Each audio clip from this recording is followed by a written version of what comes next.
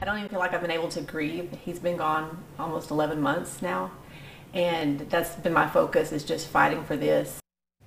The widow of a well-known sheriff here on the South Plains is still working hard to help first responder families like hers nearly a year after his unfortunate death. Last July, Lynn County Sheriff Abraham Vega died from COVID-19, but the Texas Association of Counties didn't consider it a line of death duty. But there's new legislation making its way through Austin, hoping to change that. KLBK's Grace Morris sat down with Sheriff Vega's wife today to explain to us what the bill does and why she's so passionate about it.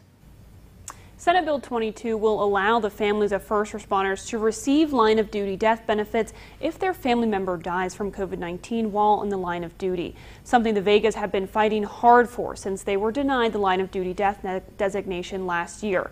For them, this legislation moving forward is one step closer to victory.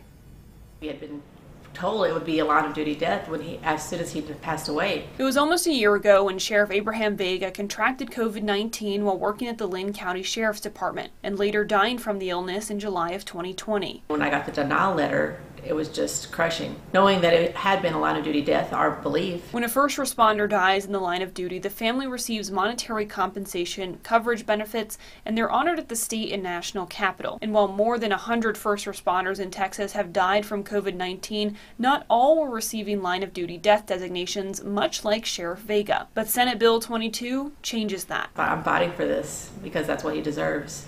So from July till now, I've been fighting everything I could do.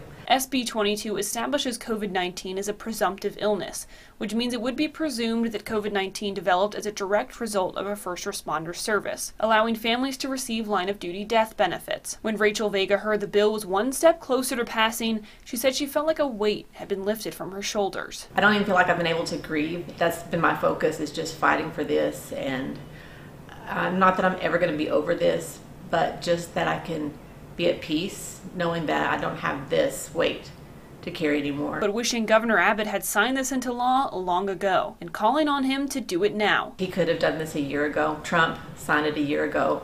Uh, I hope he does just automatically signs it now. So that the sacrifices Sheriff Vega made for his community won't soon be forgotten. It's really for him, just the honor that I think he deserves um, to be with those who did sacrifice their life in the line of duty because he was fighting and protecting us at the end. The bill passed in the House yesterday 139 to 6. Those opposed citing that it would be difficult to prove a specific connection between someone's service and their exposure to COVID 19. The bill will still have to go through the Senate once more before it's headed to the governor's desk to be signed.